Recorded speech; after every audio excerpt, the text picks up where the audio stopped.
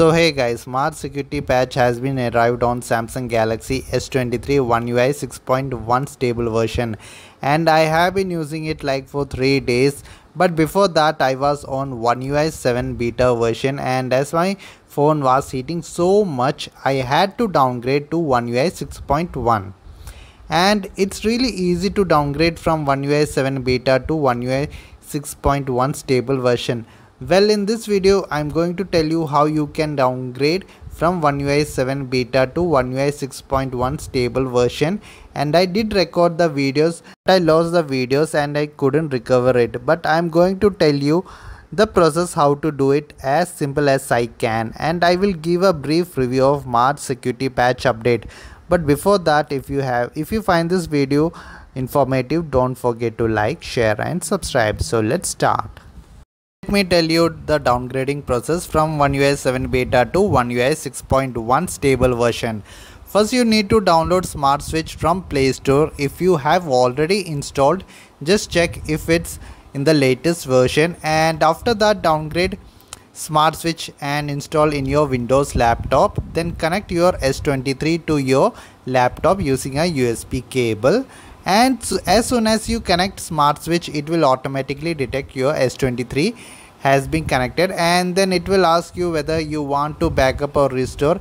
Yeah i forgot to tell you in this downgrading process you will lose all your pictures videos apps and everything. So you need to backup either you can backup using smart switch but it will take so much time. So i use my ssd to backup all the data from s23 and it's much faster. So after that you will see a downgrade option on the bottom of the screen in smart switch app. Just click on that but don't touch your phone when the downgrading process is on and it will downgrade some plugins and you will be asked to download 11 GB file of One UI 6.1 stable version with March security patch update. And you need to have at least 60 GB free on your C drive on your laptop and after downloading the One UI 6.1 stable version it will automatically install on your device and your device will restart and you will have to set up your phone from the beginning. That's it. It's easy peasy. Anyone can do it. And One UI 7 stable version is expected to be available on S23 on April 7 so let's wait for that.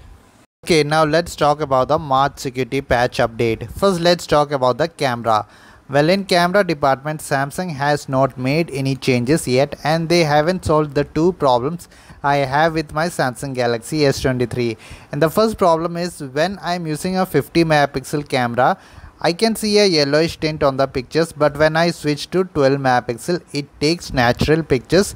Do you have the same problem with your S23 if yes do let me know and the second problem is when I switch from 1x to 3x there is a jitter when switching between the lenses. It doesn't matter when you are taking pictures but when you are making videos and switching lens from 1x to 3x it affects the video.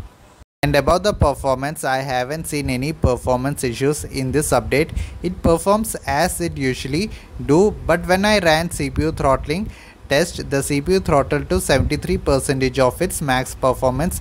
In the last update, CPU throttled to 83% of its max performance. But in my day-to-day -day usage, I'm not feeling any downgrade in performance department.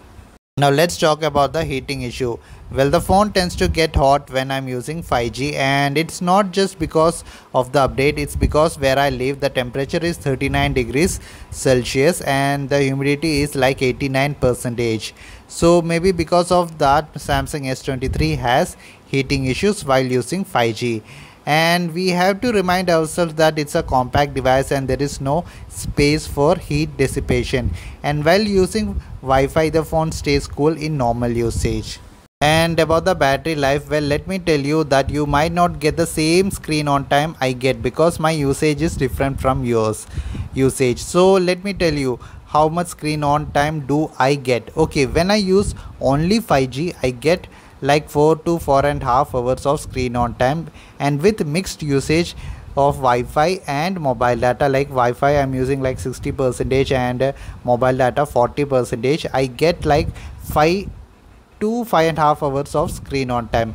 And just with Wi-Fi I get up to 6 to 6 and half hours of screen on time and it's in my usage. So in the battery department the battery is just decent. And if you are using s23 in hot weather outside your battery will drain faster because the phone will become hot and that will result in battery drain. So tell me how much SOT do you get on your S23 so this was my review about Samsung Galaxy S23 March security patch update.